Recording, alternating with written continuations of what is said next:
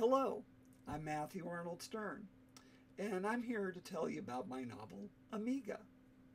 Amiga tells the story of Laura, a programmer who goes to Silicon Valley in the mid 1980s to start her computer career. But she winds up working for a family with secrets, but the opportunity to work with a revolutionary new computer, the Commodore Amiga.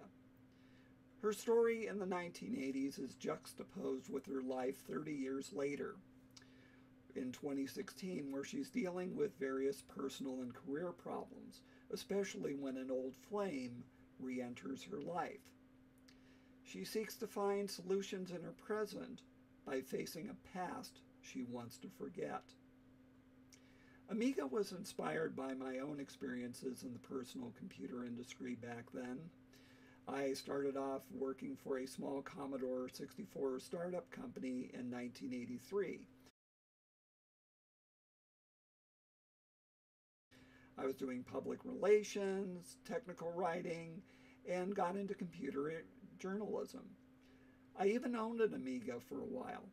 We planned our wedding with it. Recently, Amiga was featured in the Write or Wrong Virtual Book Club, and we had some fun and lively discussions about the book, and it also netted some wonderful reviews. The Amiga has been called a wondrous tale of female empowerment in the tech age, a perfect addition to your book collection, that Amiga's brilliantly plotted and well crafted historical novel, that it's fast paced and well written. Amiga is a book that you will want to read.